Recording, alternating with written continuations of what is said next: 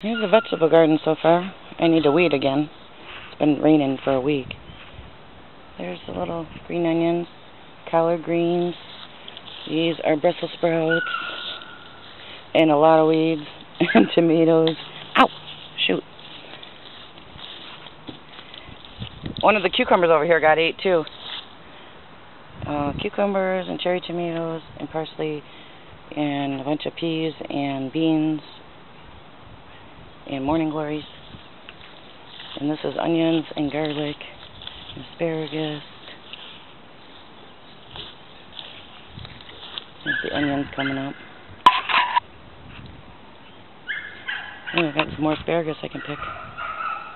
Yay!